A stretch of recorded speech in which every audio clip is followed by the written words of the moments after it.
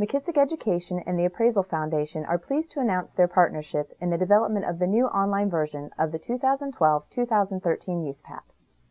As is the case with the classroom version, the Appraisal Foundation will not be offering the online courses to students directly. Rather, they will be offered through McKissock's online learning system and will be made available to all education providers through McKissock. It is important to note that education providers may continue to develop their own online courses that must be reviewed and approved by the Appraiser Qualifications Board for equivalency.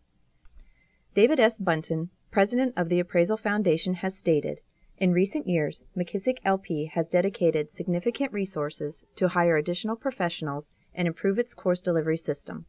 These improvements, coupled with their excellent outreach capability and the Foundation's course development ability, will ensure that all appraisers will have access to quality online USPAP education.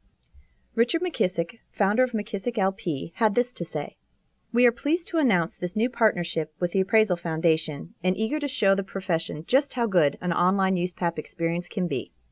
These new courses will be available through McKissock in October 2011. For more information, please visit www.mckissock.com/appraisal.